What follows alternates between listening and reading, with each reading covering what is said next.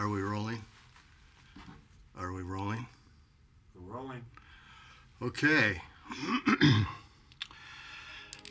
I would like to welcome you to um, this course on ethics.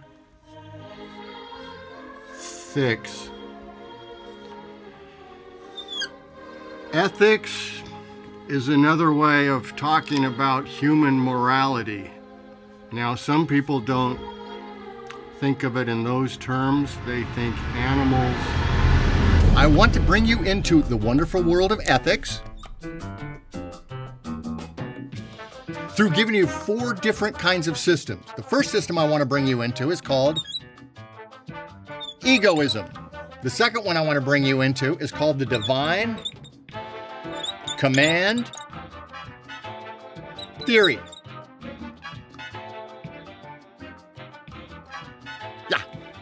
The, the next one I want to bring you into is called virtue ethics.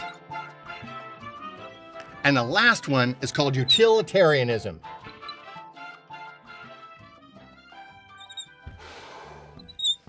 That's one big honking word. So, here's how the systems kind of work. The first one has to do with self interests. The second one has to do with, looks pretty obvious, the divine. So, if God says it, you're supposed to do it.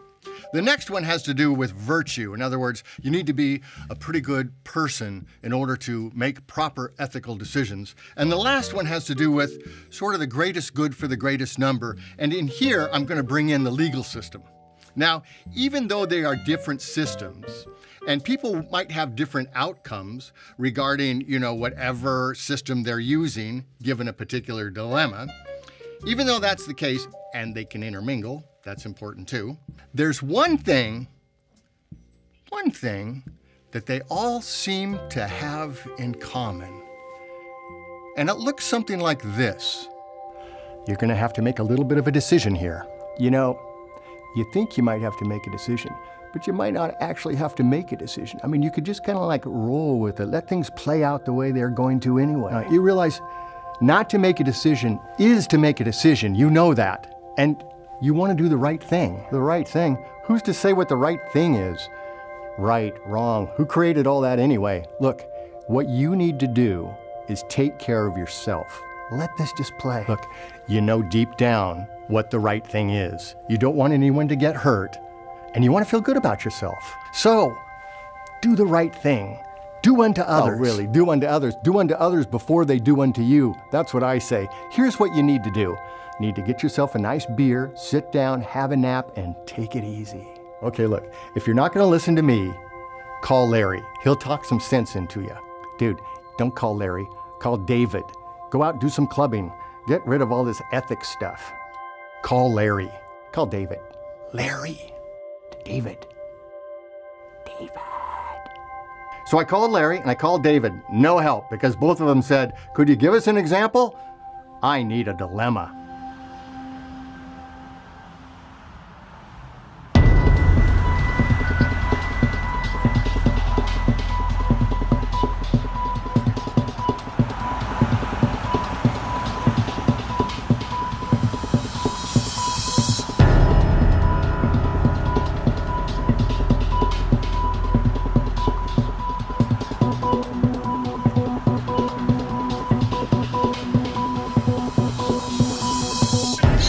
The money. She should at least make the effort to find whoever lost that money.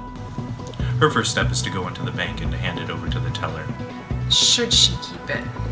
The law doesn't answer that question with a yes or a no. Anyone in their right mind would keep the money. It's only $200. That doesn't, that's nothing. Whoever lost it obviously has already written it off. Nobody's gonna go looking for it.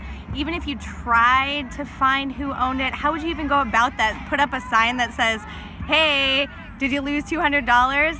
Anyone would respond to that. Obviously, you keep the money. It's your lucky day. You know, just do something that makes you happy with it. The question is a moral question, which deals with the moral law. And coming from a religious perspective, the moral law is based on God's commandments. In the book of Exodus, we see that, uh, among many others, God gave Moses and the Israelite people 10 main commandments. And these 10 commandments have formed the basis for the majority of moral reflection by theologians since then. The idea is that God commands something, and this command is in accord with our nature. That is to say, uh, we were made for something, we were meant for something, and if we follow these commandments, then we will find fulfillment and happiness and uh, paradoxically freedom. And if we don't follow the commandments, then we'll be enslaved in our own sin.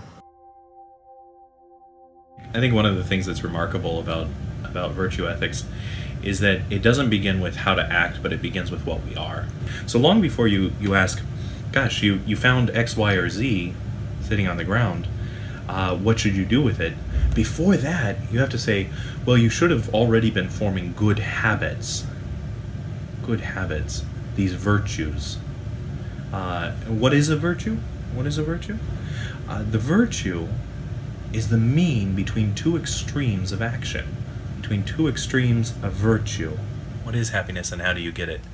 Aristotle answers this way in the Nicomachean Ethics. He says, he says that happiness is right living habitually. Right living habitually. And how do you get it? By having those those virtues, those good habits that lend themselves to acting well in each situation. And in this case, the woman, if she were to pocket the money, has misapprehended her happiness. She loses out on a political virtue. That political virtue stands on the on the mid of two extremes. The first, uh, where she's entirely self-serving. She's only interested in answering her own needs. The other extreme is where she's entirely other-serving, where she loses all sense of herself and no longer can possess what would be called magnanimity. Somewhere between the two of those is is equitability, where she where she acts not only out of the interest of herself, but also for all those else that she's in relation with in the in the body politic. The law is the cornerstone of civilization. It's the framework of civilization as well. It organizes our expectations of one another that so that the potential chaos of conflicting individual ethical philosophies won't fracture our communities and our civilization. People are driven by emotion and by self interest. Law is driven by the societal need to promote and enforce basic elements of mutual respect sufficiently to approximate a balance of all people's self interests. In a case of found money, the applicable laws shape an approach that will balance the streetwise finders keepers philosophy with the more empathetic instinct to seek protection against unwittingly losing something a person has worked hard to earn. The law looks at who the person is, what the set of circumstances is that that person brings to the situation, and um, what their intention is, and what created the situation in order to answer the question. So there is no simple yes or no answer to that question.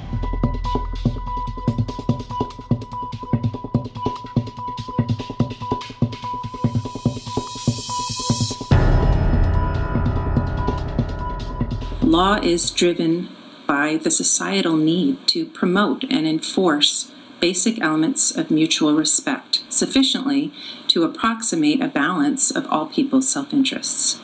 Uh, the virtue is the mean between two extremes of action.